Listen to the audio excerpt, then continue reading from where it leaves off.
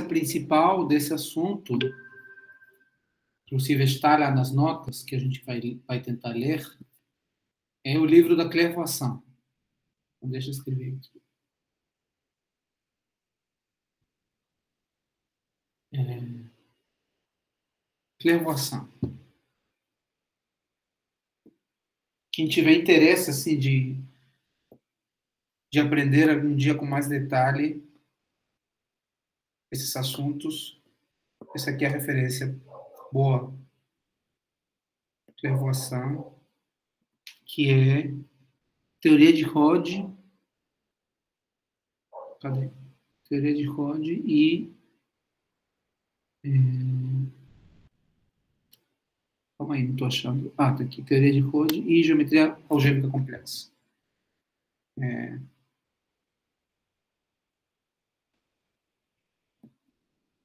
Acho que com isso você sabe. O livro tem na internet. Acho que, inclusive, tem alguma versão que tem dois volumes.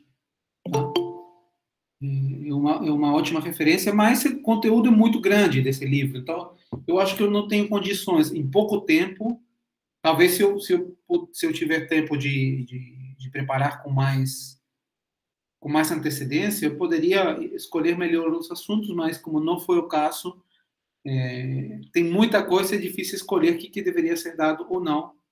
É, para mim, pelo menos. Né? Eu não sou especialista em geometria, em teoria de código. Então, é, eu, eu, escolhi outras notas, tem coisa que não está muito bem detalhada, então a gente vai discutindo e vamos fazer uma revisão assim rápida de alguns assuntos. Eu quero falar hoje de três assuntos principais variáveis complexas, várias variáveis complexas, né? Vou lembrar algumas definições. É, super, variedades complexas, superfícies complexas, uma geralmente variedades complexas, e fibrados, tá? Eu vou falar hoje desses três assuntos. Então, hoje ainda não vai ter nada de teoria de, de geometria Keller. É só geometria complexa mesmo. Então, a primeira coisa que eu queria falar era a definição de uma função holomorfa, né? Então, eu vou supor que todo mundo já fez um curso de uma variável complexa, então, vou pegar um aberto de, de CN, um aberto, e uma função definida nesse aberto nos complexos. Tá? Então, essa função vai ser holomorfa,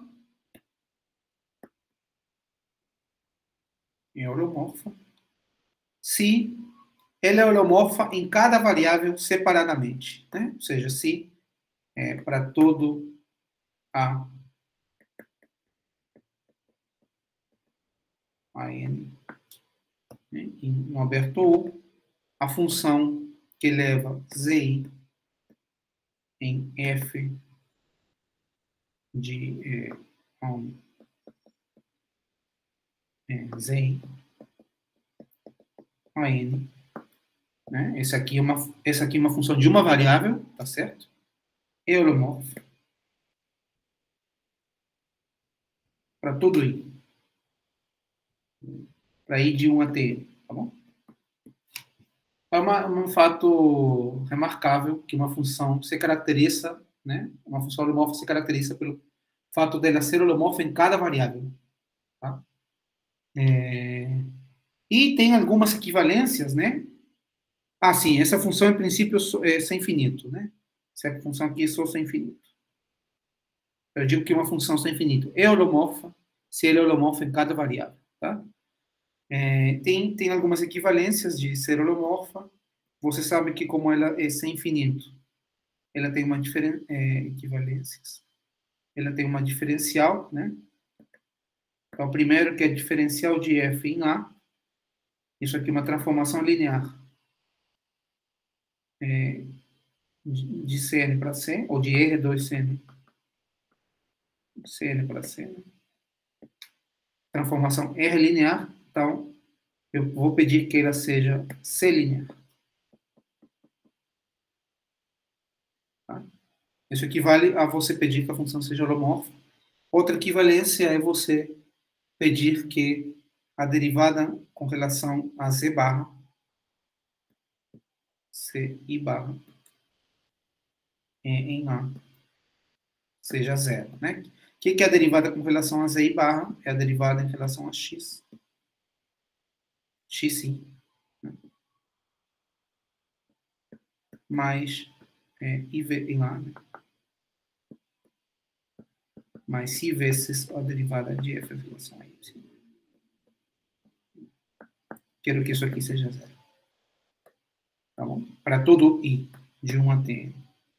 Tudo isso equivale a você pedir que sua função seja holomorfa. Certo?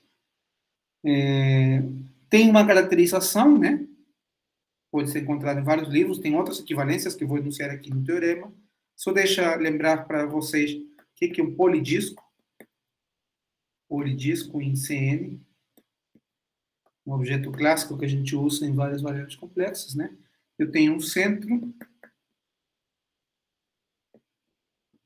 um número complexo, né? Cada entrada é um número complexo e tem um raio, polirraio, né?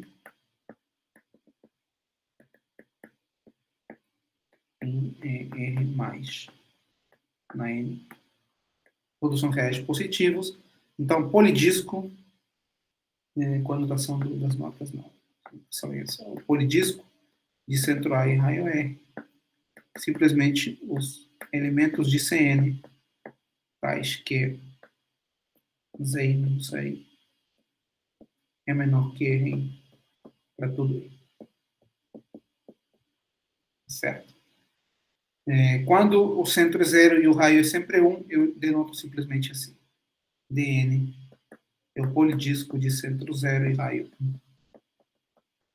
É uma notação útil. E o teorema, é, o teorema que caracteriza as funções holomorfas é o seguinte, teorema, tem uma imitação de uma variável complexa, né? Então, tem o U1 aberto, de Cn, aberto, eu tenho uma função f de U para C,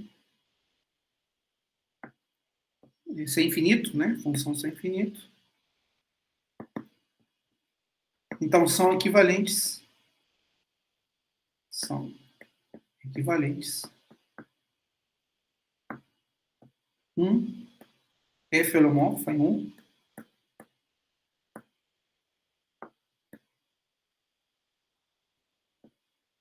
Dois, F é analítica, ou seja, para todo ponto em um existe um, um polidisco, né? Existe um polidisco centrado nesse ponto, contido em 1, né? tal que F se escreve como série de potência, né? tal que F de A mais E é o somatório de AI, ZI.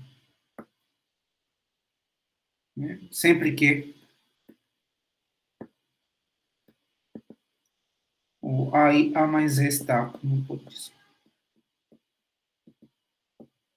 Tá? Essa notação que eu estou usando aqui para a série de potência é uma notação de poli, é, de multiíndice, né? Ou seja, o I tem várias entradas, né? I1 e N, e o Z na I significa Z1 na I1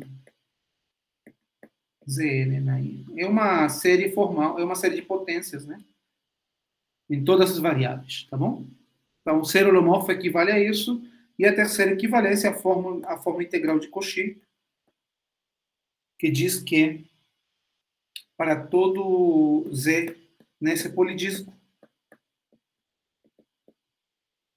né? É, a gente pode escrever f de z como 1 sobre 2 π na n vezes a integral né, de é, no bordo do polidisco, né? Se j menos a j igual a rj né, da função f de si.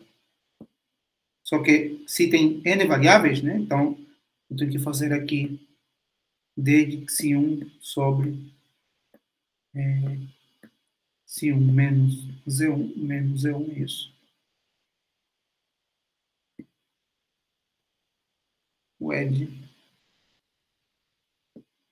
de, Cn sobre sin menos E. Bom?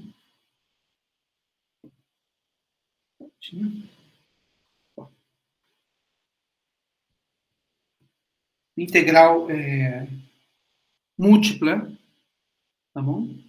No bordo do polidisco. E, é, como consequência disso, eu, eu, vou anunciar vários resultados que são verdadeiros, que vocês podem acreditar, mas que vocês conseguem provar também, que é o princípio do máximo, por exemplo. Não vou provar ele, mas quem tiver interesse é, pode tentar imitar a prova de uma variável complexa que vai conseguir fazer. Princípio do máximo, né? Para quem lembra, fez um curso bom de uma variável complexa, o princípio do máximo diz que isso é uma função holomorfa. Atinge o máximo, o módulo dele atinge o máximo em algum ponto, então ela tem que ser constante, né? Se A é conexo, se U é conexo, né? Se U é conexo, e o módulo de F né, atinge o máximo.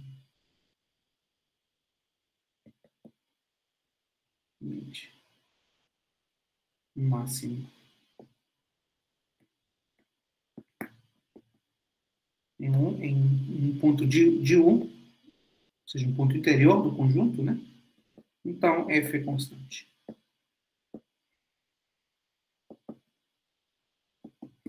Tá bom? É, agora, eu vou definir o que é uma função de C. O que é uma função de U contida em Cm para Cm, né? Então, ela tem M coordenadas, onde cada uma delas é uma função definida em U, né? Cada FJ vai de U para C, tá bom? Então, F é holomorfa se cada coordenada é holomorfa. Se FJ é holomorfa para todo J.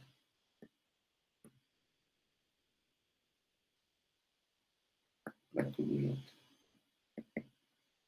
Certo? É, e a gente pode definir a matriz jacobiana de f, da mesma forma como a gente fez para funções reais, né? A matriz jacobiana de f no ponto A é, por definição, uma matriz formada pelas derivadas parciais, né? De fi com respeito a zj no ponto A isso aqui é uma matriz de é, é uma matriz de m linhas por n colunas, né? m linhas por n colunas com, com entradas complexas. Tá? Nesse caso são números completos todos. Essa é chamada matriz jacobiana.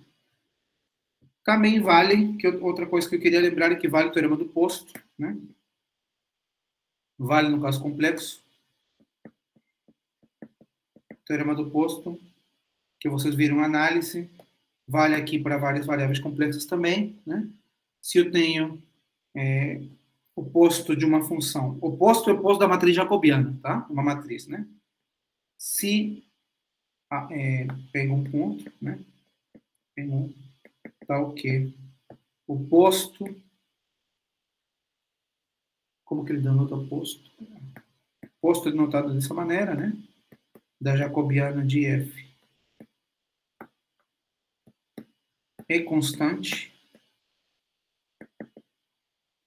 igual a R numa vizinhança de C0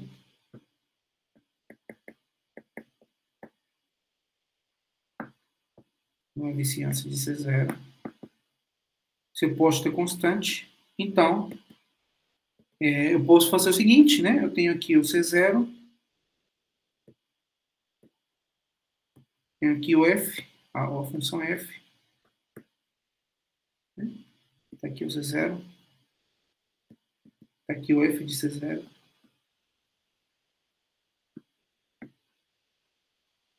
Então, eu sei que posso fazer uma mudança de coordenadas, né? Numa vizinhança aqui.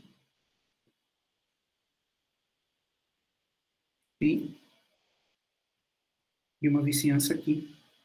Sim. Tal que esse mapa tem uma cara específica, né? Então, existem, vou anunciar correto, né?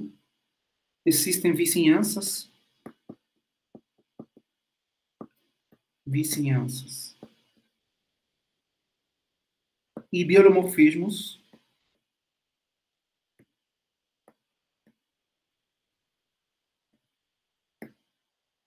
morfismos né? fixe tais que essa composta que seria φ menos 1 composta com F composta com Xi num ponto Z1 ZM CN se escreve como Z1 ZR depois completa com zero. É teorema do posto clássico, né? Só que teorema do posto eu tenho que esses mapas são difeomorfismos e agora eu posso supor que eles são biolomorfismos. Tá? Tem uma cara local para F ao redor do ponto C0, que é esse aí. O que mais que eu quero falar de várias variáveis complexas? Claro que eu vou falar das equações de Cauchy-Riemann. Né? Cauchy-Riemann são uma, uma maneira de reconhecer se uma função é holomorfa ou não. Agora eu tenho várias variáveis complexas, né? Então eu tenho aqui f tem várias componentes, né? F1, Fm, cada uma delas tem uma parte real. Cada uma delas vai nos números complexos. Então, cada FJ se escreve como UJ mais IVJ onde o J e VJ agora são funções reais, né? E o Z tem N componentes, porque é uma variável é um ponto de CN. Tá bom? E cada, cada ZK se escreve como XK. Tem uma parte real e uma parte imaginária. Tá? Então, as equações de Cauchy-Riemann são as seguintes, né? Então, eu sei que F é holomorfa holomorfa, se somente sim se satisfazem as equações de Cauchy-Riemann, que são a derivada de UJ com relação a XK é a derivada de VJ com relação a YK e a derivada de UJ com respeito de YK é menos a derivada de VJ com relação a X. Para todo J e para todo K. Tá bom? Essas são as equações de Cauchy. Então, elas continuam valendo em várias variáveis. Correto? E o último ponto que eu quero falar, que, que, que é uma diferença fundamental entre várias variáveis e uma variável, é o teorema de extensão. É, Para quem já viu várias variáveis complexas, sabe que é, aquele teorema de extensão de Riemann, que vale para uma variável complexa, ela muda um pouquinho quando a gente fala de várias variáveis complexas. Teorema de extensão. De extensão de Hartos.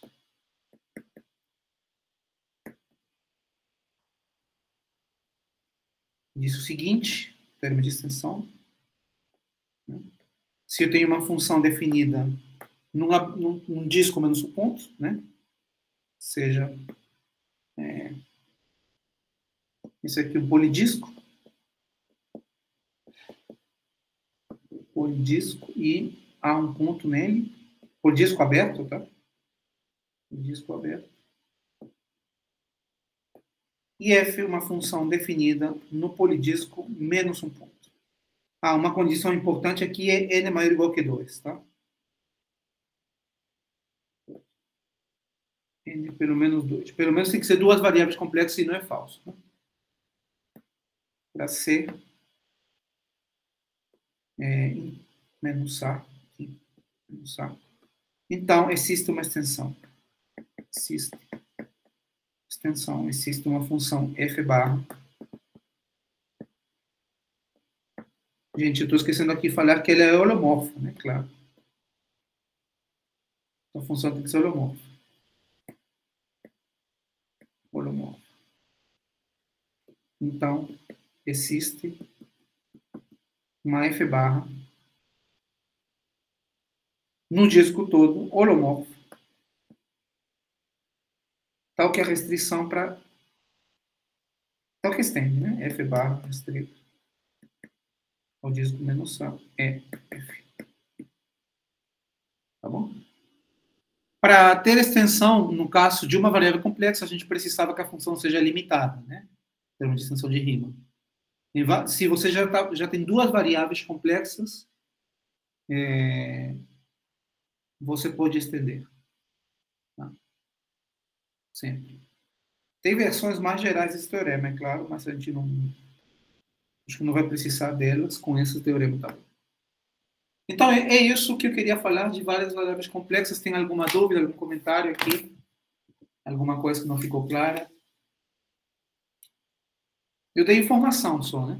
Não, não provei nada. Mas se alguém tem, tiver algum comentário aqui, ou alguma coisa que, que queira acrescentar. Se não, a gente vai falar rapidamente também de variedades complexas. Variedades complexas.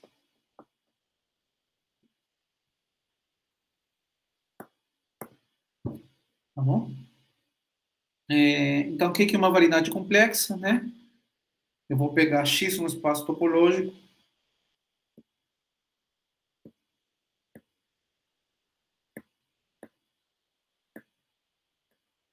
Hausdorff, com base numerável, tá? Colocar.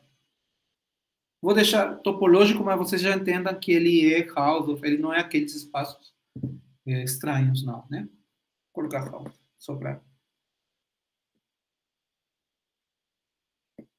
não ficar registrado nada falso. Então, é... o que, que seria uma, uma, uma variedade, uma estrutura complexa em X, né? Então, eu vou querer ter uma cobertura, né? Suponha que, suponha que a gente tem, suponha dada uma cobertura de X por abertos, né? Cobertura aberta Tá? E homeomorfismos φj de uj para vj? Onde vj é um aberto de Cn, né? homeomorfismos,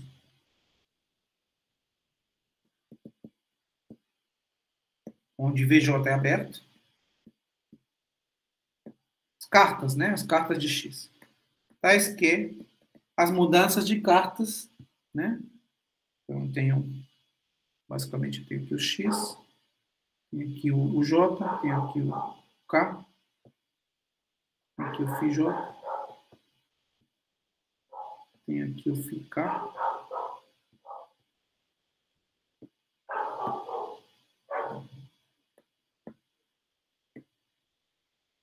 Então, tenho uma mudança aqui de coordenadas. É, Sim. Tais que fica composta com φj menos 1. Isso aqui está definido em φj é, uj integração do k. E vai em ficar uj integração do k. Esses dois são abertos de Cn, tá bom? Essa integração aqui corresponde a um aberto aqui. Então, eu vou pedir que essa, essa, essa composta seja um biolomorfismo. Tá ok? Isso aí é biolomorfismo.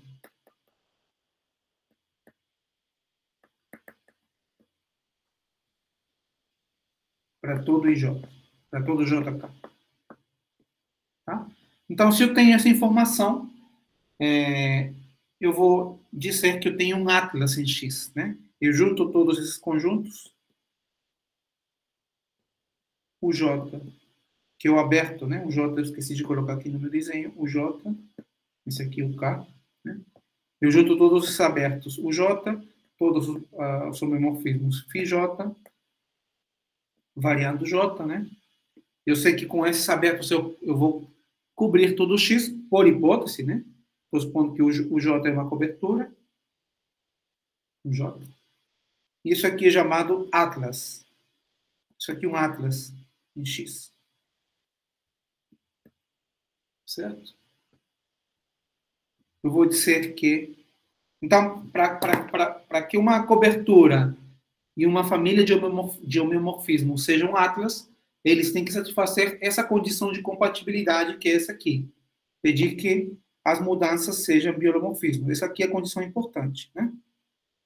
Que as mudanças de coordenadas, quando eu passo de um aberto para o outro, isso dê um biolomorfismo, tá bom? É, a gente diz que uma condição de compatibilidade. Duas cartas quaisquer são compatíveis, tá? Então, é, eu vou definir uma relação de equivalência entre os atlas. Eu vou dizer que se eu tenho dois atlas, A e a linha, são atlas, ou seja, são duas famílias de cartas em X, né? São atlas. Então, eu vou definir A equivalente à linha, se somente se a união delas continua sendo um atlas.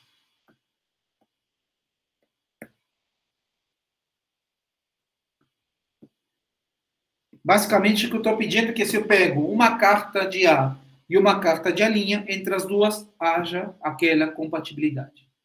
Tá? A mudança de coordenada de uma carta de A para uma carta de linha seja um biomorfismo. Certo? E, então, uma classe de equivalência do Atlas, por essa relação de equivalência que eu estou definindo aqui, é o que a gente chama de uma estrutura complexa em X. Isso aqui, por definição, uma estrutura complexa. Você poderia ter definido pedindo, por exemplo, que o Atlas seja maximal também. Tá bom?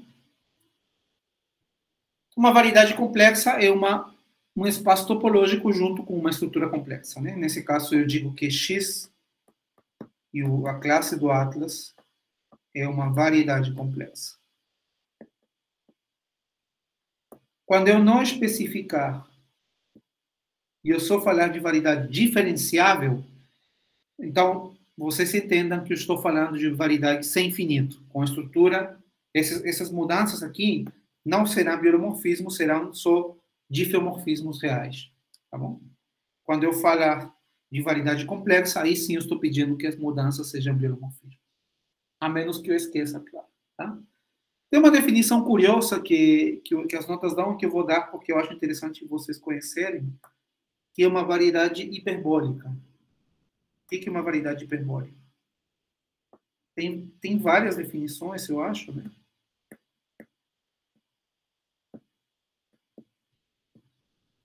Superfície de Riemann hiperbólica, por exemplo, para quem fez o curso de superfície de Riemann, deve conhecer, mas essa aqui no, no, no sentido de Brode. Tá? É uma variedade complexa que não admite uma função dos complexos nela. Tá? Então, x é hiperbólica, variedade complexa, né? Se não existe f de c para x holomorfa não constante.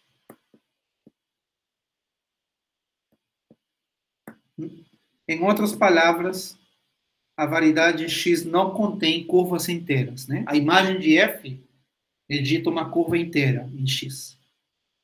Tá? Claro, eu tenho que pedir que seja não constante, porque constante sempre existe. Né? Define como constante e holomorfa. Alguém consegue me dar um exemplo de uma variedade hiperbólica?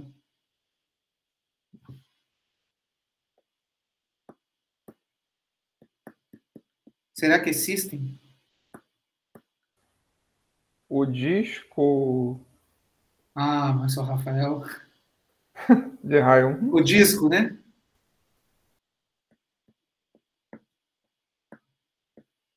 pelo teorema de Liouville. Né? Se você tem uma função, qualquer disco, né? uma função no disco, ele é, ele é limitada, portanto é constante. É... Segundo, segundo eu li, eu não, eu não conheço o assunto, mas pelo que eu li nas notas, a classificação de variedades hiperbólicas é um assunto muito rico em pesquisa. É, não sei se ele dá alguma referência, deixa eu ver aqui.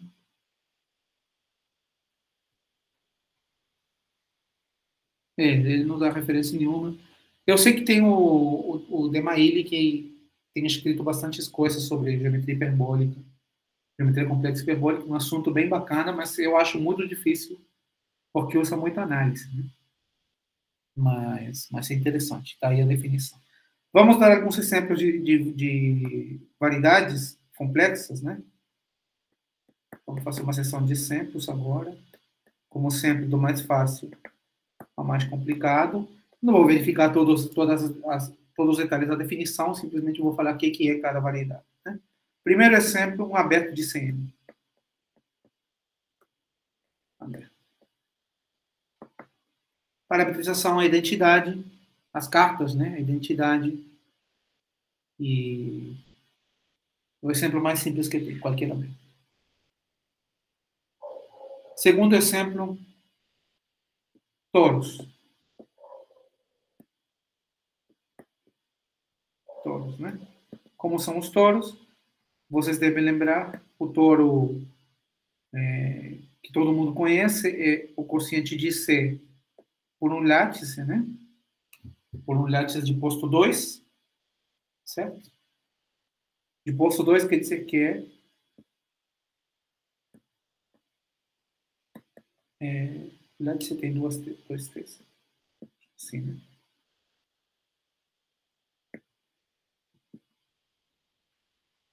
Quer dizer que é um subgrupo discreto de C gerado por dois elementos, né? O mais clássico que vocês conhecem provavelmente já viram, né? É, seu quociente é por um e tal.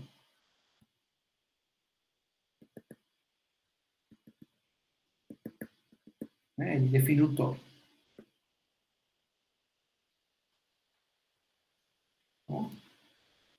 Isso pode ser feito em CN, se você troca aqui CN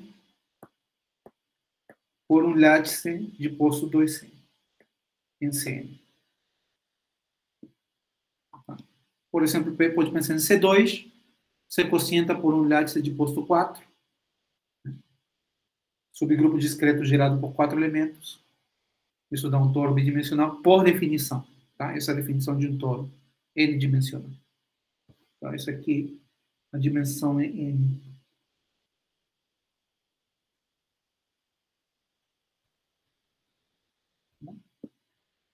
É, terceiro exemplo, Espaço projetivo, claro, né? Tem que falar dele. O que é o espaço projetivo? Eu pego V um espaço vetorial. Não sei se faz falta fazer isso, mas V um espaço vetorial de dimensão n mais 1. Poderia fazer direto com Cn mais 1, mas vou fazer com espaço vetorial temos para a dimensão n mais 1, e eu vou pegar o conjunto de todos os subespaços unidimensionais. P de V vai ser o conjunto dos subespaços, né? W subespaço vetorial de V, tal que é a dimensão de W. Esse menor igual, para mim, significa subespaço vetorial, tá? Essa anotação aqui. Subespaço vetorial.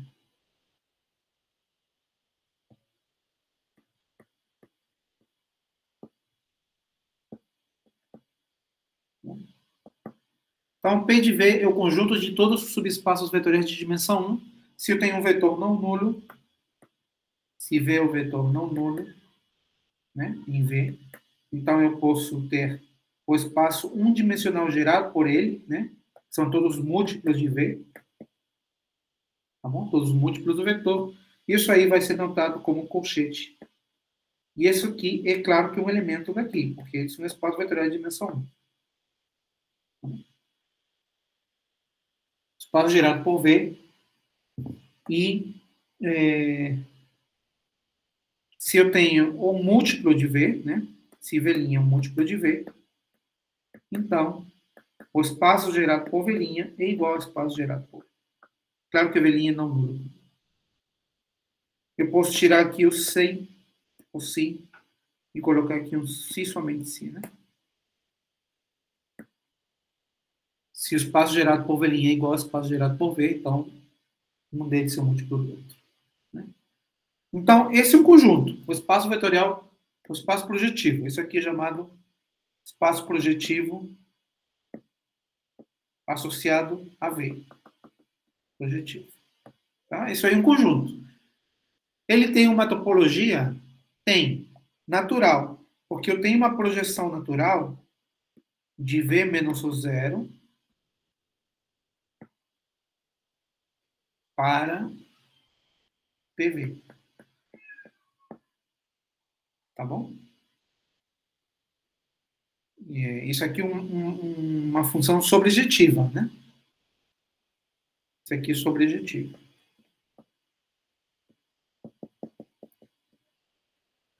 Pega simplesmente um V e leva no, na classe dele. Né? Tá? Então, eu posso definir em PV a topologia que faz com que esse mapa seja contínuo, né? topologia quociente. Ah, então, tem o P de V com a topologia quociente.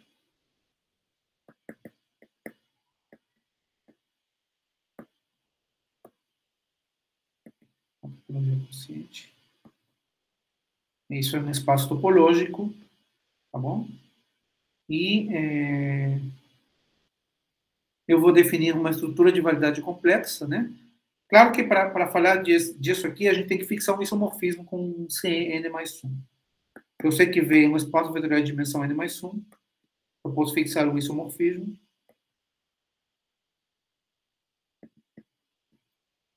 Posso fixar um isomorfismo daqui para Cn mais 1. Né? se eu tenho um vetor V. Fixar um isomorfismo é equivalente a fixar uma base em, em V, né? Então, ele corresponde a uma N de vetores, de, de pontos, né? Em Cn mais 1. V0, V1, Vn. Tá bom? Esse aqui é um isomorfismo.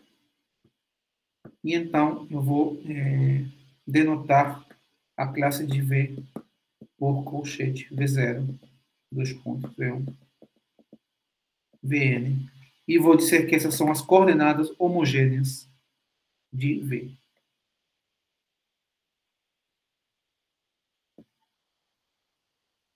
Tudo isso funciona uma vez que está fixado o isomorfismo. Tá bom? É, vou definir um conjunto, o I, dentro de V, né, que vai ser dado pelos vetores pelas classes, desculpa, dentro de PV, tais que a i uma coordenada homogênea, é diferente de zero. Tá bom? Isso aqui é um conjunto aqui.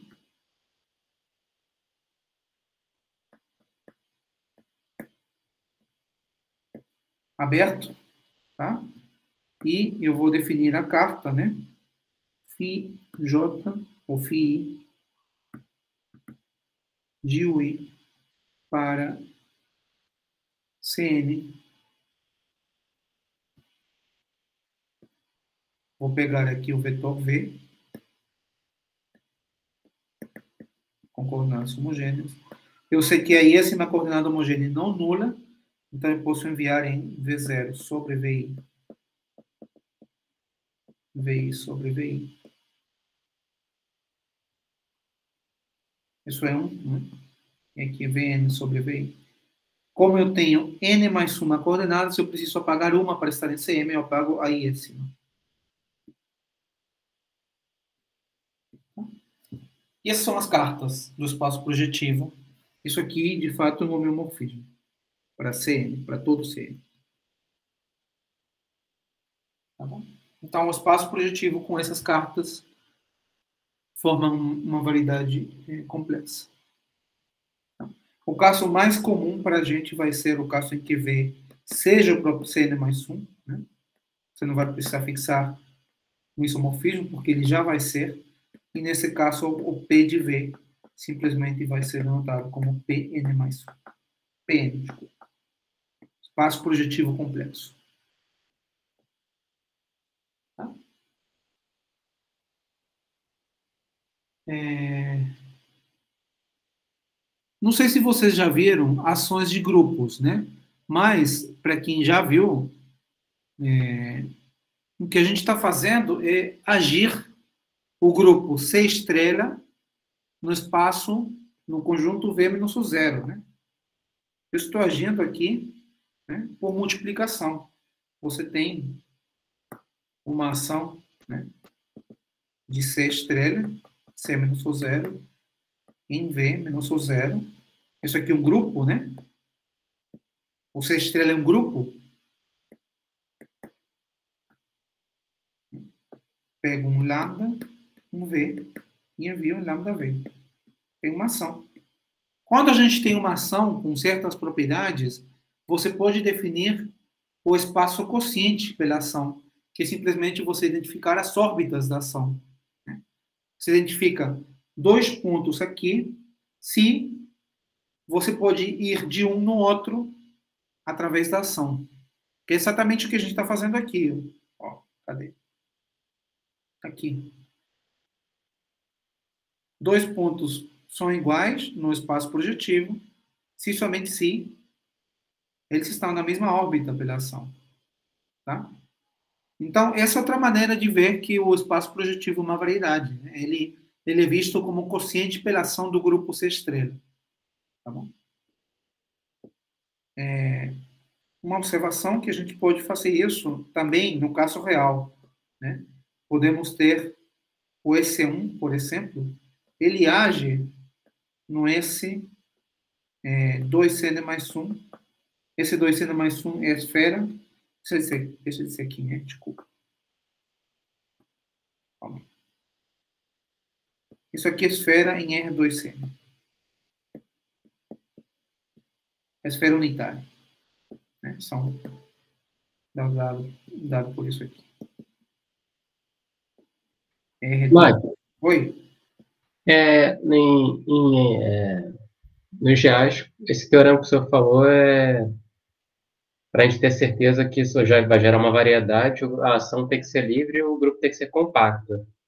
Isso, não, é, não, é, é o que eu falei, é também, assim? algumas hipóteses, isso é uma variedade. Não, é, essa que você, isso que você falou é, é, é uma condição para que seja uma variedade. Mas você pode ter também que a ação seja propriamente descontínua.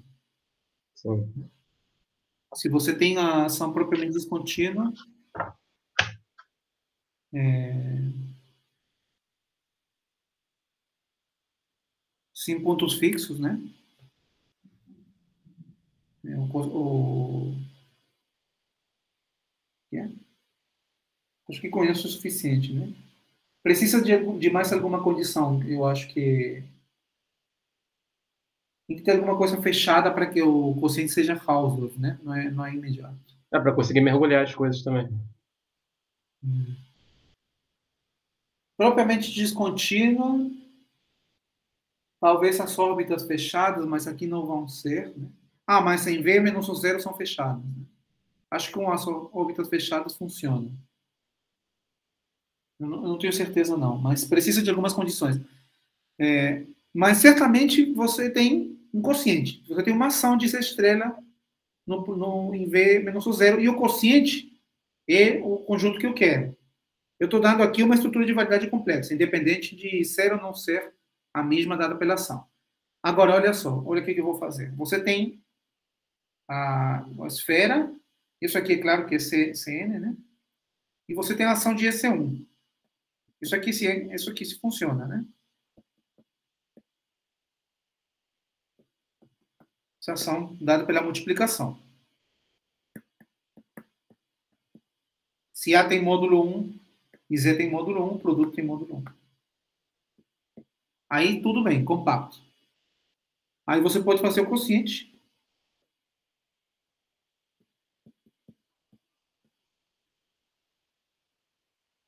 Isso é bi, isso aqui é difiomorfo.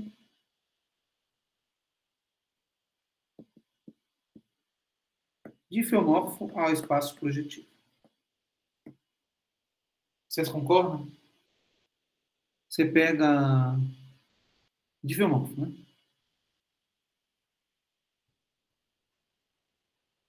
Não estou dizendo que o biolomorfismo. Estou dando aqui a estrutura de validade real. Aqui. Portanto, esse aqui é compacto, por exemplo. Em particular,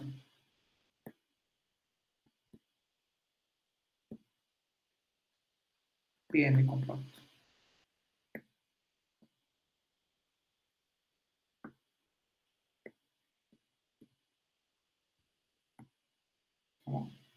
observação do Guilherme faz muito sentido, né? O, a ação que eu estou fazendo ser estrela, mas bom, você tem um conjunto.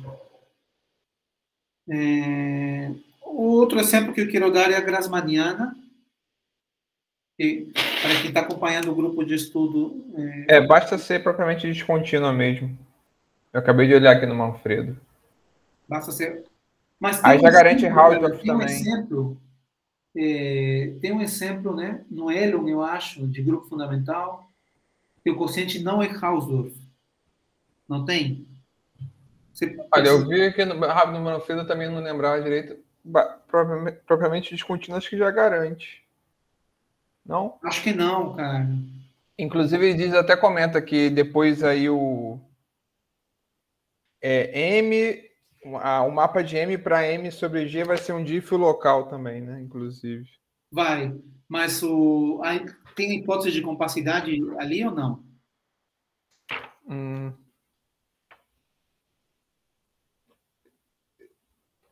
Eu vou olhar com calma aqui se tiver alguma novidade. Ah, não, tudo bem. Tem alguma. Tem, eu lembro que no livro do Hélio tem um contra-exemplo, justamente. Eu acho que não, que não era suficiente. E quando é compacto, quando o grupo é compacto, aí sim, aí sim é verdade. É, bom, mas de qualquer forma, a gente sabe dar uma estrutura de variedade complexa para o espaço projetivo, que é, foi a que eu acabei de dar aqui. Essa aqui, né?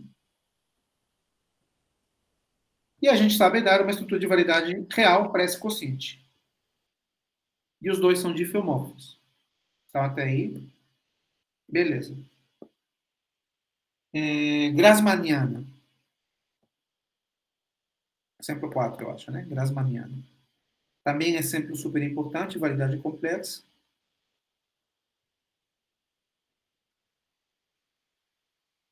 Uma N. Grasmaniana. Você pega um, um espaço vetorial de dimensão N V, espaço vetorial complexo.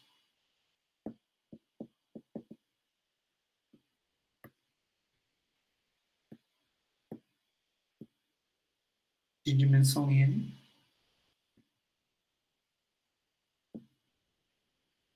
E eu vou pegar R, um número entre 0 e n. Então, a Grassmanniana vai ser o conjunto, como conjunto, né, primeiro. de todos os subespaços vetoriais de dimensão n.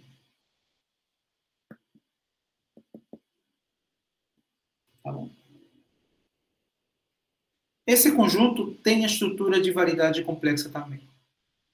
Tem uma estrutura de variedade complexa. Tá? E, de fato, o espaço projetivo é um caso particular. São subespaços de dimensão 1. Tá bom? É... Como a gente pode dar uma. Tem várias maneiras de fazer isso. Eu vou fazer aqui a mais bruta, eu acho, que, que é a que ele propõe. Você vai fazer o seguinte. É, fixa, né? Fixe um, um subespaço TI de V. Fixa um subespaço V. T de V em, em V. De dimensão. De dimensão complementar. N menos C. Certo? Fixo um subespaço. Tá fixo lá. Fixa uma base ali. Então, esse aí é um Cn-R dentro de Cn. Tá bom? E você vai chamar o I ao conjunto de todos é, os subespaços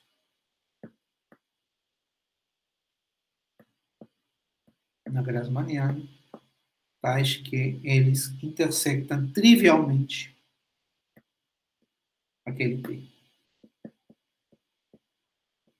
sei por que eu estou colocando o I aqui. Eu... Tá bom? Tipo assim, em, em... Calma aí. Isso, por exemplo, imagina que você tem C3 e você fixou esse espaço aqui.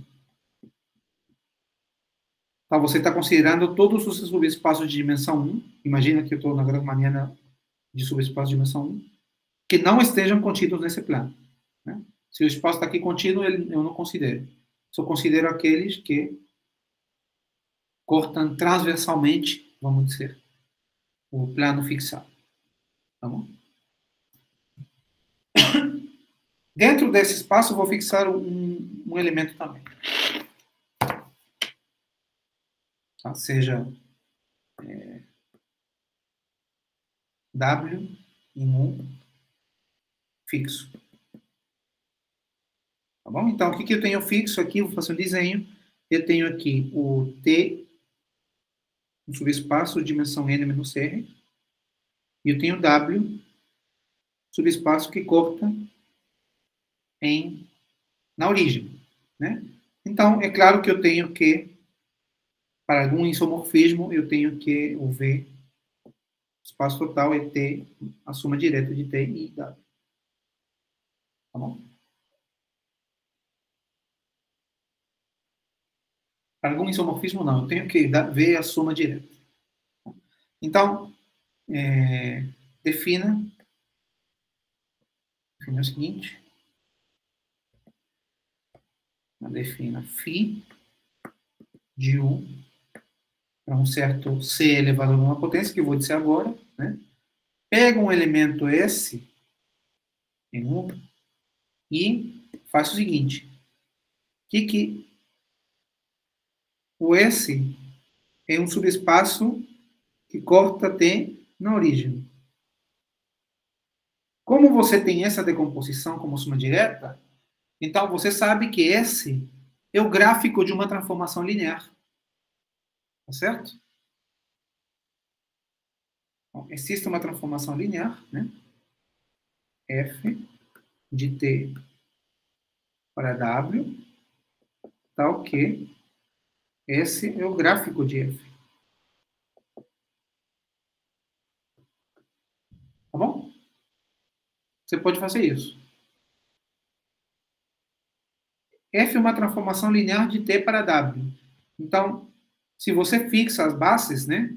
Se, se você fixa uma base em, em V, uma base em W, uma base em T, né? fixa a base aqui, fixa uma base aqui, fixa uma base no espaço original, e essa transformação linear tem uma matriz associada. Isso aqui é uma matriz. É, ele vai ele cai em W, W tem dimensão R, uma matriz R, N menos R. Tomada nessa matriz.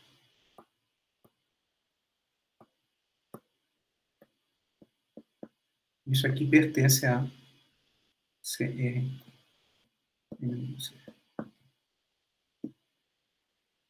Essa é uma carta, é uma maneira de, de você dar estrutura de validade complexa na grande maneira. Não é a maneira mais bonita, tá bom, funciona. Então você tem U, Φ, né? Lembra que U foi para um T fixado, se você vai variando os T's, você vai ter um atlas da Grassmanniana.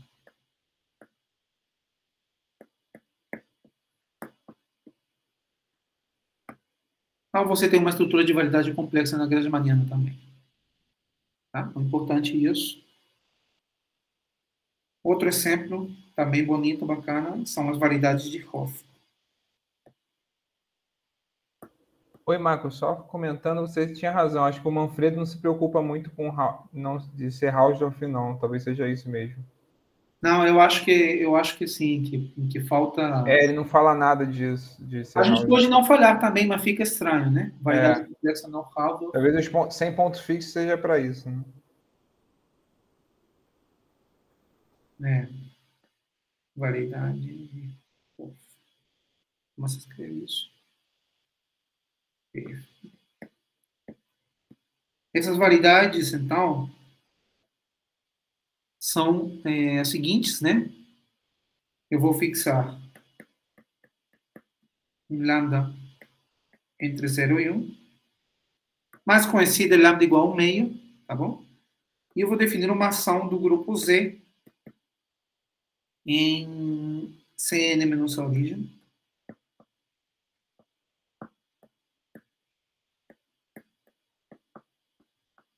através desse lambda, né?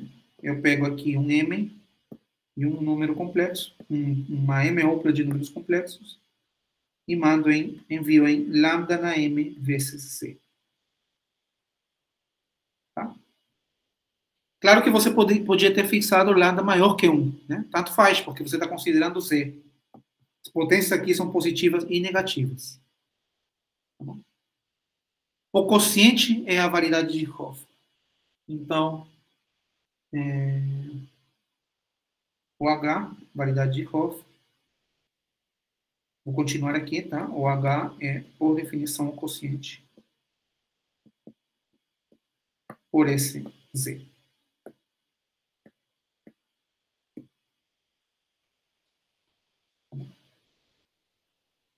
Se identifica os elementos que diferem por uma por um múltiplo de uma potência de lambda.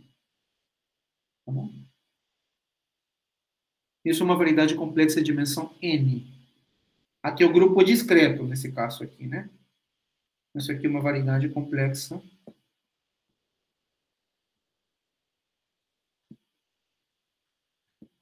de dimensão n. Uma coisa legal, que eu achei legal, não vou mostrar, mas vou falar, é que essa variedade, claro que esse aqui em geral depende de lambda, né? Esse aqui é H lambda. Tá bom? Depende de lambda, do lambda que você tomar. É... E o que eu achei legal é que ele é difiomorfa a difiomorfa a esse, a esfera, vezes esse 1 a esse produto. Particular e compacto também. Tá. Parece, a princípio me surpreende, me surpreende um pouco, mas depois, se você pensa um pouco, esse Cn menos o zero edifiomorfo a esfera vezes os números reais vezes os números reais positivos, né? né? Se você pega a esfera e multiplica pelos reais positivos, você consegue todo o R2N, que esse é N menos o zero. R2N menos o zero. E aí, se você depois quocienta essa parte real pelos, pelos inteiros, você consegue esse 1. Então, por isso que não surpreende tanto. Né? Estou falando que, não sei se ficou claro, estou falando que Cn menos o zero e difiomorfo a S2Cn mais 1 vezes os reais positivos.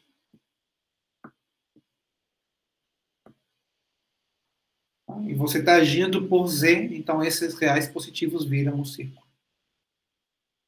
Ô, Michael. Sim. Eu só estou achando estranhas as dimensões dos dois lados ali. É CN Hum, vamos lá. O excedente tem dimensão 2n, o outro tem dimensão 2n mais 2? Ah, não. 2n é menos 1, né? É isso que eu queria? Acho que deve ser 2n menos 1. 2n é menos 1, obrigado, cara. O Cn não é 2Cn mais 1, é 2Cn menos 1. O 2Cn menos 1 está contido em R2Cn, né? 2Cn menos 1. Deixa eu corrigir aqui.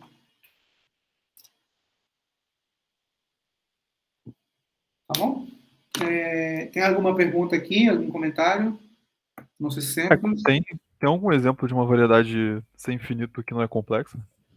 Ou toda variedade sem infinito admite uma estrutura complexa? Não. Não. Pega uma de dimensão ímpar, né? pega, uma não, pega uma não orientável, né? Não, tem, tem sim, cara. É, verdade. Mas dimensão par. Dimensão par. É sempre dimensão par, né? Primeiro, a variedade complexa tem que ter dimensão par. Segundo, tem que ser orientável, sempre. Porque você lembra que as mudanças de coordenadas são de filomorfismos, né? Essa é a pergunta, é uma pergunta supernatural. Você sabe que isso aqui de biomorfismo em particular vale nas equações de Cauchy-Riemann. Então, quando você pega a jacobiana, ela, ela vem em blocos, né? Porque justamente essa equação de Cauchy-Riemann. Quando você calcula o determinante da jacobiana, dá positivo. Então, elas são orientáveis. Tá? Mas aí você pode perguntar, é suficiente ser orientável para ter estrutura complexa? Essa é uma pergunta que talvez a gente é, a gente estude um pouco aqui ao longo do nosso caminho, que, que é quando você pode dar uma estrutura complexa numa variedade de, da dimensão correta. Né? Tem um problema da estrutura quase complexa, tem algumas hipóteses para sempre ter estrutura quase complexa, e tem um teorema que diz quando uma estrutura complexa é quando uma estrutura quase complexa é de fato complexa. Mas é um problema super difícil. Em geral, a resposta é não. Tá? Se você quer um exemplo, começa com uma variedade não orientável. Ela já não pode ser complexa. Tá? Mas, é, mas é uma pergunta é uma pergunta complicada, né? Quando uma variedade diferenciável pode ser uma variedade complexa. É verdade, né? Se falar assim, ah, me dá um exemplo de uma orientável dimensão par que não é complexa, né? É, mas tem. E tem, mas assim, tem alguma conhecida assim? Acho que esfera, as esferas, né? As esferas não ah, é verdade. Acho que essas Cara, eu não sei se eu tô falando besteira, mas uma a, a não existência de uma forma simplética é uma obstrução para isso? Tipo, talvez. Eu não sei. Hum... Cara, não me vem. É porque tem holomorfa que acho que não é simplética, acho que não seria, né? Eu acho que não seria, não. Não, não me vem um motivo assim é... Olha, certamente o Paulo Sadi sabe responder isso, ele já, ele já me mostrou vários exemplos. Eu chuto, eu vou, eu... provavelmente a esfera, as esferas é, nem sempre têm a estrutura complexa. Tem, alguma pergunta dessas? Estrutura complexa?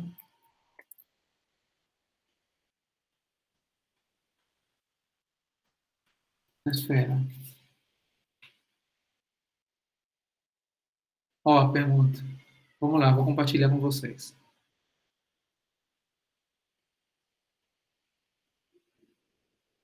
Essa é a pergunta, né?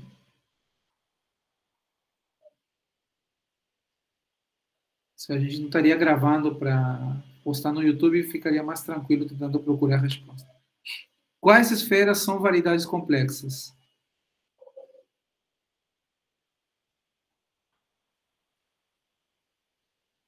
Ele pergunta se toda esfera é dimensão par e variedade complexa.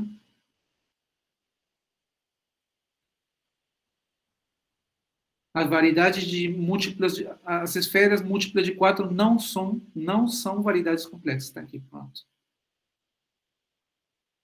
Ele responde usando classe de Sherman. E ele está dando um livro que é sobre estruturas quase complexas. Olha que legal.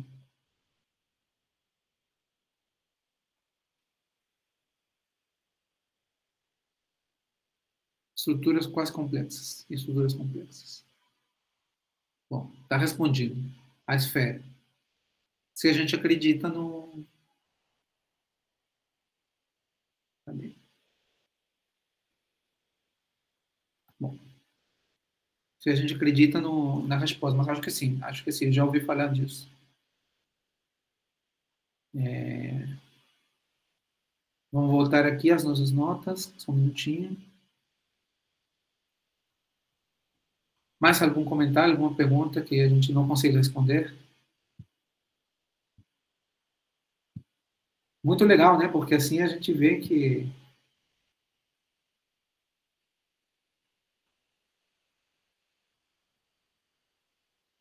Não, a gente vai. Para mim também é legal isso. Eu, já ouvi falar, mas também não está na minha cabeça e a gente procura, né? Fica legal. Eu acho muito bom. É... O que, que seria um mapa holomorfo, então? Né? Vamos falar de funções holomorfas antes de falar de fibrados. Então, funções holomorfas, mapas holomorfos.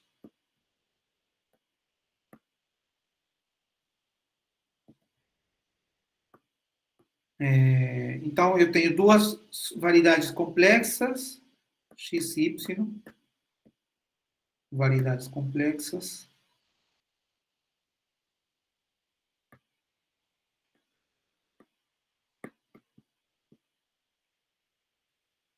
É, e eu tenho uma função sem infinito entre elas.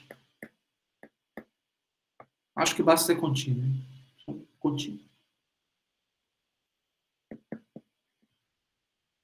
Então, eu tenho assim, né? Eu tenho aqui x, f, y. Eu vou dizer que é filomorfo se, quando eu pego dois, duas cartas aqui, uma aqui e uma aqui, Claro que eu tenho que pedir que a imagem, né? Vamos lá. É filomorfo. Se é,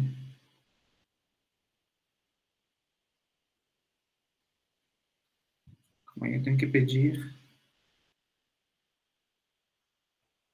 Eu posso escrever diretamente assim.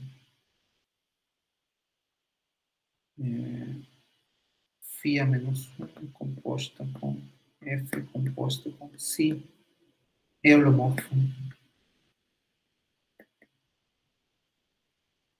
Para todo, para toda, para todo φ, para todo Si. Desde que faça sentido essa composta, né? Se, se a imagem de F desse aberto cai aqui, nem faz sentido fazer a composta, aí já é holomorfo automaticamente. Né? O que eu estou pedindo é que seja holomorfo sempre que faz sentido fazer a composição. Tá bom? Esse mapa aqui. É... E no caso em que I. No caso... Só um comentário, Michael. Eu acho que aí a continuidade vai ser para garantir que diminuindo a, a imagem da FI cai dentro da imagem da, da outra, né? Que você vai poder encontrar cartas para vai fazer isso. Encontrar. É, exatamente. Em princípio, pode pensar, pô, é, se é holomorfo, automaticamente vai ser contínuo, né? Mas é porque pode ficar vazia a condição, né? E você botando continuidade, você garante que vai ter alguma aberta ali que vai, vai de fato verificar, né? Que vai cair dentro da imagem da outra, né? Exatamente, né? Você pode pensar assim, o que o Rafael está falando assim, você pode pensar que, bom, se esse cara aqui é holomorfo, claro que ele tem que ser contínuo. Se ele é contínuo, esse aqui é contínuo, esse também é, então a própria F tem que ser. Mas na condição, né, nessa condição aqui, como você sabe que você vai poder, poder fazer essa composição em algum momento, né? Você sabe por quê? Porque se você pega um ponto aqui, ponto aqui, né? Você tem f de p aqui. Como ele é contínuo, então você vai encontrar uma vizinhança aqui e uma vizinhança aqui, tal que f vai enviar a primeira na segunda. E aí você vai poder fazer a composta com as parametrizações. Isso que o Rafael está comentando. No caso de I igual a C, ou seja, eu vou ter f de x para C, eu não vou chamar de mapa, vou chamar de função? F edita função holomorfa.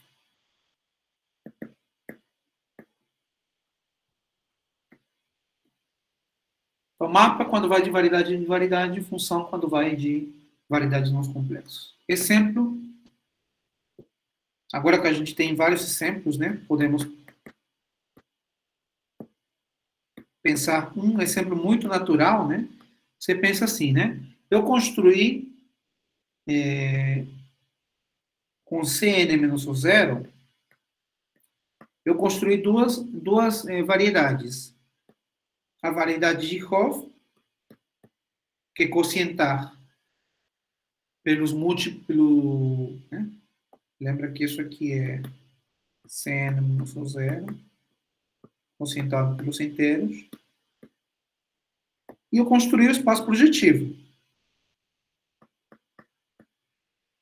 Dimensão 1 a menos, né? que é Cn menos o zero, concentrado pelo, pelo C estrela.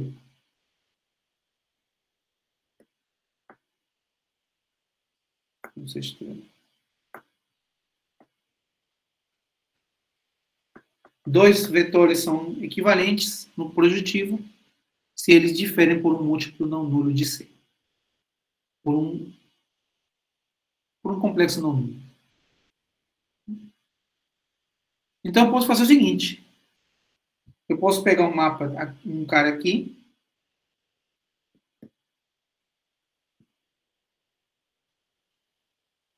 Vou denotar assim a classe dele.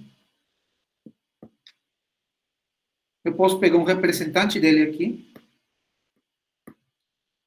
E eu posso enviar para a classe dele aqui. Então, eu tenho uma função daqui para cá. Tá certo isso? Claro que a gente teria que mostrar que isso não depende desse levantamento, que, esse, que, que essa imagem não depende do representante que você pega aqui. Mas não depende, né? Porque se você tem outro representante, né? se você tem que a classe de W igual à classe de Z, significa que W e lambda na n vezes z. Portanto, em particular, são múltiplos um do outro. Né? Em particular, a classe de W no projetivo é igual à classe de C. São dois vetores múltiplos por um escalar não nulo. Tá então, F está bem definido. Só que, se você percebe, esse tem dimensão n, porque eu quocientei por um grupo discreto, Mas esse aqui tem dimensão n menos 1, porque eu quocientei por ser estrela, um grupo contínuo. Esse tem dimensão 1 a menos. Eu fiz, eu, eu fiz cair a dimensão de Cn quocientado por projetivo. Mas quocientado para H, eu mantive a dimensão. Então, esse F vai de uma variedade de dimensão n para uma variedade de dimensão 1 a menos. Tá bom? Então você poderia esperar que as fibras dele sejam curvas, né? Você tem aqui uma variedade de uma dimensão.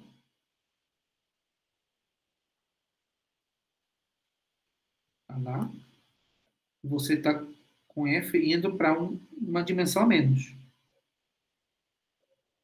Então, é normal que você espere que as fibras, se você fixa aqui, a fibra tenha a dimensão, a diferença. A fibra tem dimensão 1 a menos. Tem dimensão 1.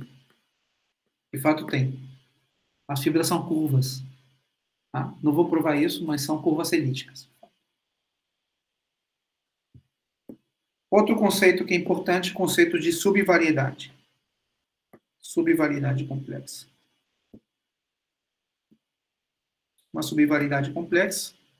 Você tem um subespaço topológico, X é variedade complexa.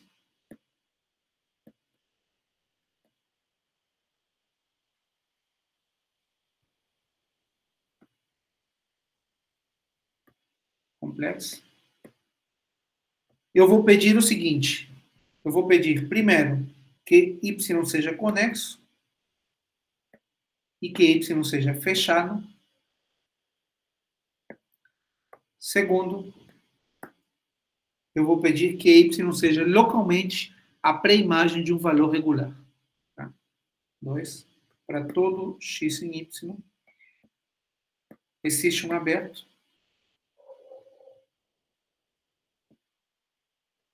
Um aberto em x, né? E uma função de um, um disco de dimensão k. Tá? Função holomorfa, subimersão, ou seja, a, a derivada é objetiva, né? Subimersão, a derivada tem posto máximo, tá? tal que y interseção u é a pré-imagem do zero. Então, o que eu tenho, de fato, é y dentro do x para cada ponto. Eu vou ter um aberto e uma função f num disco. Tal que esse pedacinho daqui é a pré-imagem do zero. Tá bom? É a pré-imagem de um valor regular. É...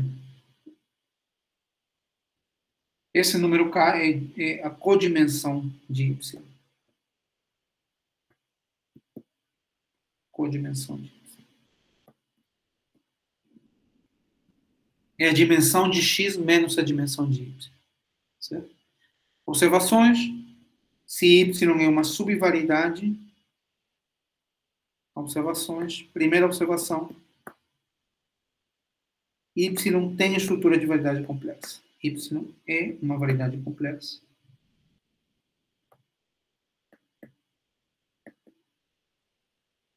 Por exemplo, você pode usar o teorema do, do posto, né? Ou, pode usar o teorema do posto para provar isso. Ou a forma local das subimersões.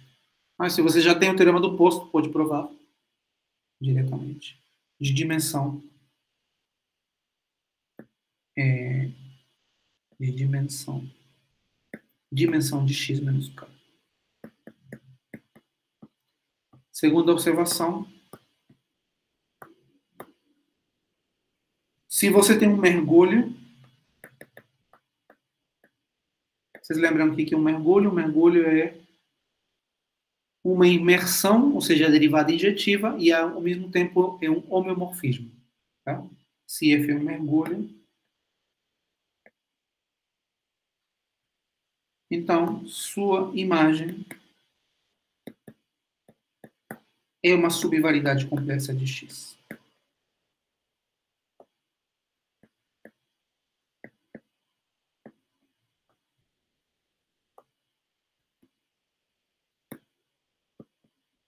Tá certo? Um mergulho entre variedades, hein? Aqui X e Y são variedades complexas, né? F um mergulho entre variedades complexas, talvez. Entre variedades.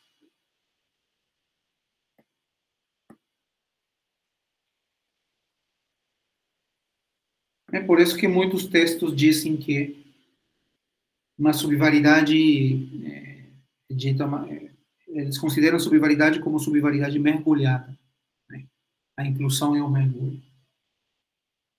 Uma observação muito bacana, que eu acho muito interessante, e inclusive para quem vê pela primeira vez pode ser surpreendente, é que se você tem uma subvariedade em CN, né, compacta,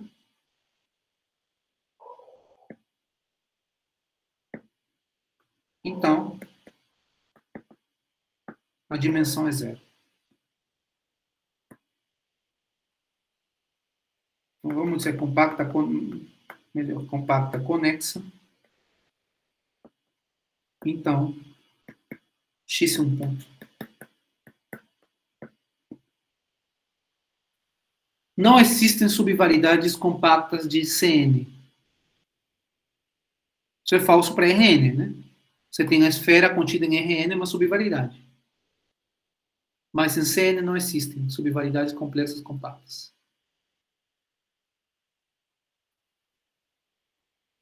Porque é, pelo princípio do máximo, basicamente. Tá? Você pode estar pensando assim, mas você falou de geometria algébrica um monte, não falou de subvariedades projetivas? Sim, o que eu estou dizendo aqui, se eu tenho um espaço projetivo aqui, Cn está dentro do espaço projetivo. Né? Cn está dentro de Pn. E o que falta é o, o hiperplano do infinito. O que eu estou dizendo é que toda subvariedade compacta corta o infinito sempre. Ela não pode ficar dentro de Cn. Ela sempre tem que ir até o infinito. Ela não pode ficar limitada. E o motivo é o princípio do máximo. Se ela é compacta, toda a função definida nela tem máximo. Certo? Portanto, é constante. Então, se ela, fica, se ela, ficar, se ela ficasse aqui dentro, por exemplo, você pode encerrar ela e é, definir uma função holomorfa nela e, portanto, vai ter que ser constante. Pega um ponto fora, pega z menos um ponto, 1 sobre z menos um ponto. É, é uma consequência do princípio do máximo. Tá? Você conseguiria construir uma função holomorfa não constante, né? Se ele não Nela, fosse um né? ponto sim, né? Se ele não fosse um ponto sim. É. Michael, você sabe por que a gente pede para ser sobre variedade ela precisa ser fechada? Cara, é...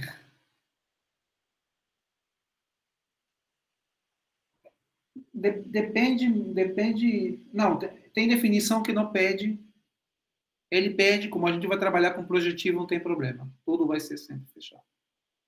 Ele, ele pede, eu, eu, não, eu não sei bem por que, que ele pede isso, mas é, é uma condição, em princípio, artificial, mas para nossos objetivos é suficiente. É que, é que parece esquisito, tipo, o disco dentro não ser uma subvariedade de CN, sei lá, disco aberto. Com essa definição, não seria, né? Não seria. Você ia falar alguma coisa, Rafael? É, não, a gente estuda foliações, né? Tem subvariedades imersas, né? E com a topologia ambiente induzida não é, mas ela tem aquelas a topologia dela mesmo, né, que a gente consegue definir para tem estrutura de variedade, né? Não é mergulhada, mas é imersa, né? Também tem isso. Quando é, quando é fechado, ele, ele quando a folha é fechada, Não. coincide, né? Sim, exatamente. Mas diga assim, a gente estuda foliações, né? Tem foliações que é, a, a folha vai ser imersa, mas não mergulhada. E aí é ela é uma subvariedade, só que não não mergulhada, né? Isso. Quando, por exemplo, você quer evitar esse tipo de coisa aqui. Isso aqui, esse conjunto que eu desenhei aqui, é uma subvariedade imersa. Mas não é uma subvariedade mergulhada. O problema é que ele não é fechado, entendeu? Aqui ao redor, você não consegue definir um, esse conjunto, essa interseção aqui como a primagem de valor regular. Não consegue. mas em princípio você poderia definir sim essa, sim essa, sim essa condição. Ele pede isso e para a gente vai funcionar. Não, mas esse, Michael, desculpa, esse exemplo que você deu é fechado, sim, né? Esse exemplo que eu dei? Não. É... Aquele ponto está lá. Ah, é verdade. É, né? Deixa eu ver. Isso aqui, né? Aquele ponto está lá. Exatamente, mas não é para a imagem de valor regular, né? Ah, sim. O problema não é ser fechado aqui, né? É, tudo bem. Mas como é que é? Quando é imersa, quando a imersa é fechada, ela é mergulhada também, não tem, não tem isso? Tem. Se, ela, se você tem uma folha fechada, bom, eu não lembro bem. É, Tem, tem alguma coisa desse, né? Você pode ter, por exemplo, É, eu também fiquei uma meio confuso. É, do toro T2. Eu não tá, eu acho que aqui não se aplica, mas uma folheação do toro T2 por, é, por retas É. irracionais, por exemplo. Né? Aí, no caso, a folha é imersa, mas não é mergulhada, né? E ela não é Sim. fechada. Mas no caso, no caso complexo, você tem como definir também é, o que seria uma variedade imersa. Né? Ele só não definiu aqui. Pode, claro. Não, mas você pode definir uma subvariedade sem condição de ser fechado, né? Você pede que seja localmente reprimado de valor regular. É, Bom, depois, depois eu lembro do exemplo. Deixa aqui terminar. É, Pelo menos quero falar de variedades projetivas. tá? Acho que não vai dar para falar de fibrados, mas vou falar de variedades projetivas.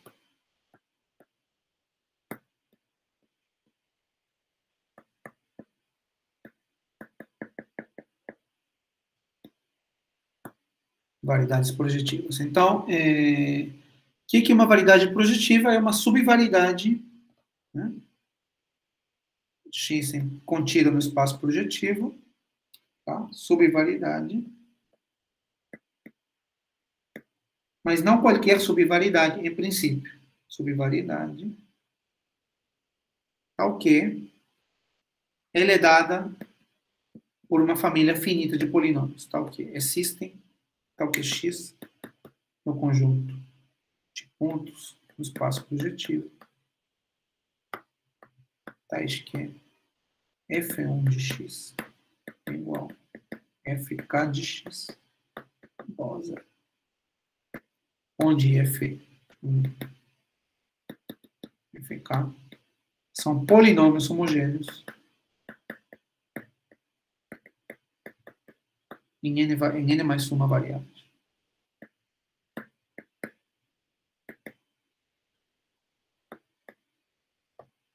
São polinômios homogêneos.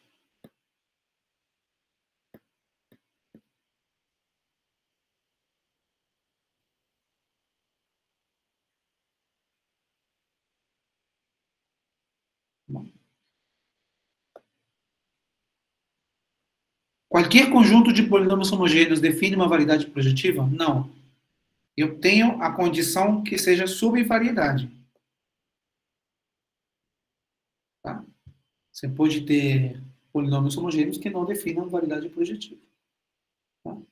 Agora, quando um conjunto de polinômios homogêneos, um conjunto de zeros de polinômios homogêneos define uma variedade projetiva? Ah, isso, isso a gente consegue, pelo menos, dar condições suficientes, tá? Para isso. Então, vamos definir, defina.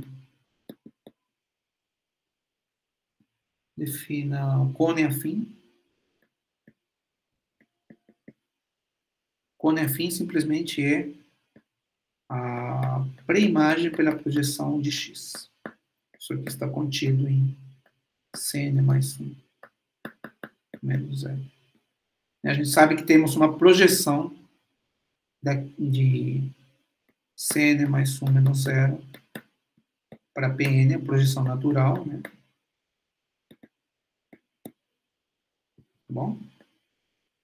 Estou pegando um conjunto em Pn, né? Então, esse conjunto aqui seria o quê?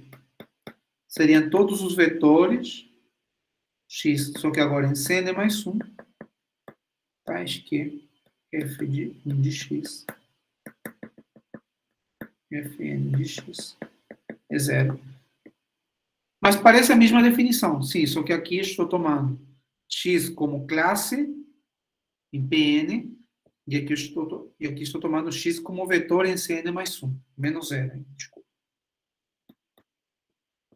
Menos zero. Tá bom? Então, Aqui eu estou pegando esses polinômios. Os polinômios não definem funções em Pn. Né? Porque se você troca o representante, o valor do polinômio muda, mesmo que ele seja homogêneo. Mas o fato dele ser ou não ser nulo, isso sim está bem definido. Tá? E os polinômios definem funções em Cn mais 1, porque aqui não tem classe nenhuma. Aqui é um vetor mesmo em Cn mais 1. Então, é tipo assim, eu tenho... Bom, isso aqui é o cone, né? Isso aqui, dentro de Cn mais 1, é um cone, porque os polinômios são homogêneos. Né? Se eu multiplico um vetor desse conjunto por um número real, a multiplicação continua no conjunto. Né? Isso aqui é um cone. E não tem esse ponto aqui. Então, eu tenho k polinômios que definem um conjunto em Cn mais 1. Tá? É... Então, eu vou pedir a seguinte condição. Condição suficiente, né? Vai ser a seguinte. Se a jacobiana tem posto... Né, condição. Para todo x aqui, a jacobiana... A jacobiana de quem? Bom, essa matriz melhor. Derivada de f respeito de x j em x. Né? São k polinômios, né? Eu vou pedir que isso tenha posto, tenha posto k constante igual a k. Né? Essa matriz jacobiana tem k linhas, porque tem k polinômios.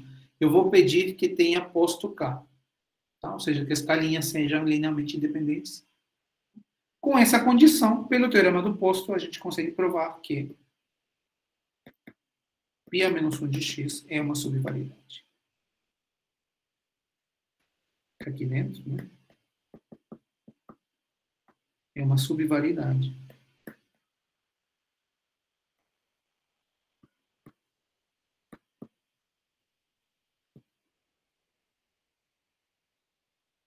De dimensão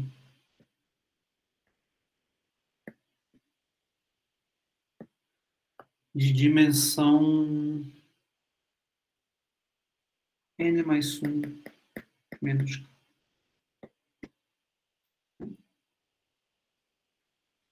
Porque o zero seria um valor regular. Né? Dessa, de, você consideraria F1, FK, né?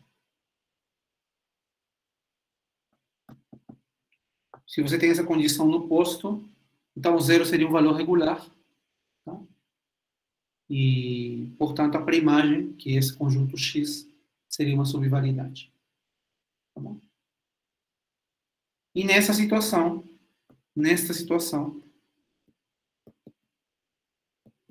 você também terá que é, X dentro de Pn é uma subvariedade.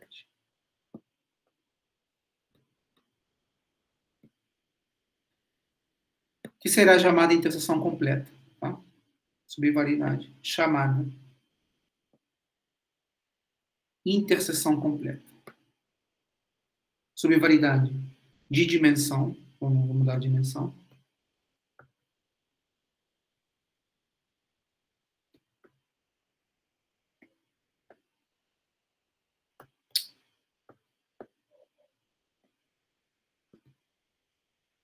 De dimensão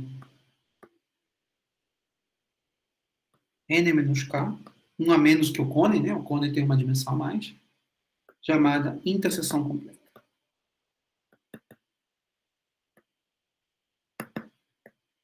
É uma subvariedade do, do, do espaço projetivo, dada exatamente, é uma subvariedade é, de codimensão k, dada exatamente por k polinômios. Tá? E a condição que a gente precisa é que as derivadas parciais, né, a matriz de derivadas parciais, tenha posto k. Ou seja, que essas linhas, né, as derivadas parciais, que essas linhas sejam linearmente independentes. Tem k linhas. Né? Tá? Então, essa é uma interseção completa. É uma subvariedade do espaço projetivo dada pelo número correto de equações. né? Se você tem uma função, você vai ter uma hipersuperfície. Se você tem duas e elas satisfazem a condição do posto, você vai ter uma subvariedade de codimensão 2, ou seja, dimensão n-2. E a cada equação que você adiciona, você estaria diminuindo uma vez a dimensão, desde que a condição do posto seja satisfeita. Um exemplo de subvariedade, outro exemplo de subvariedade, de variedade projetiva, né? é dado pelo mergulho de Plucker da Grassmanniana. Tá? Que é o seguinte, né? Eu tenho, vou definir φ da Grassmanniana de subespaço sem V de dimensão R. Eu vou no, projetivo, no espaço projetivo associado a esse espaço vetorial, produto simétrico em reversas de V.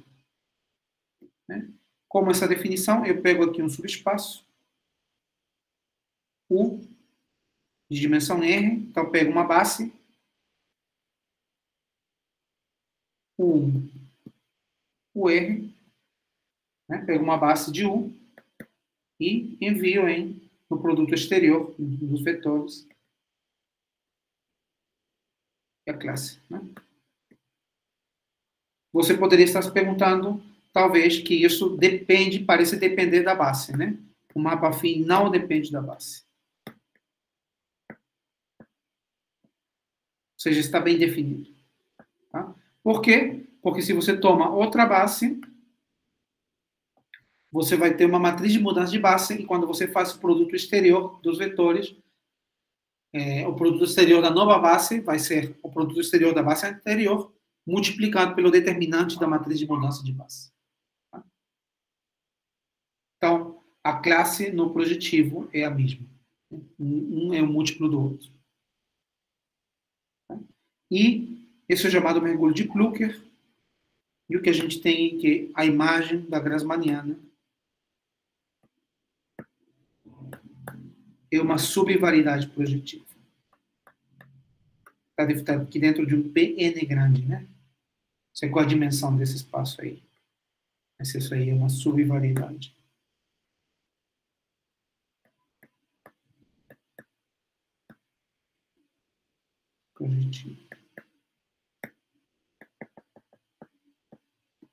Para fechar esse capítulo, tem, temos o teorema de Shaw, Shaw,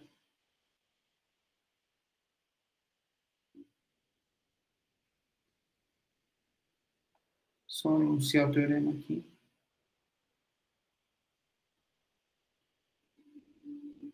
Fiz alguma coisa que ficou ruim, só um minutinho.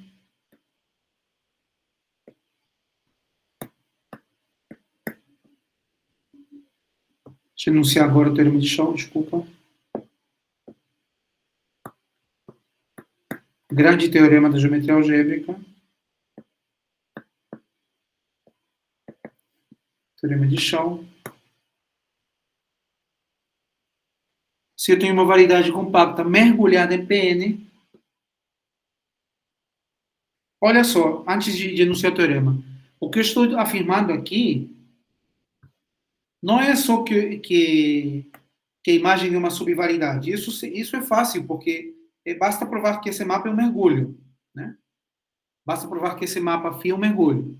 E aí a imagem vai ser uma subvariedade. O que eu estou afirmando é que essa imagem é dada por uma família finita de polinômios homogêneos com um certo número de variáveis. Isso que eu estou afirmando ali. O teorema de Show diz que isso sempre vai acontecer. Se você tem um mergulho, se X é uma variedade compacta, variedade compacta,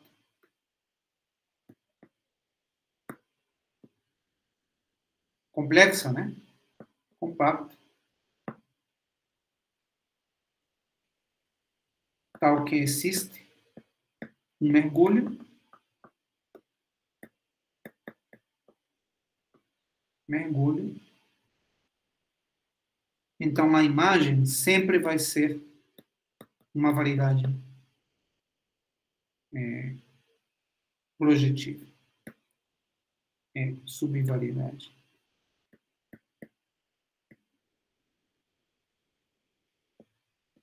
Projetiva.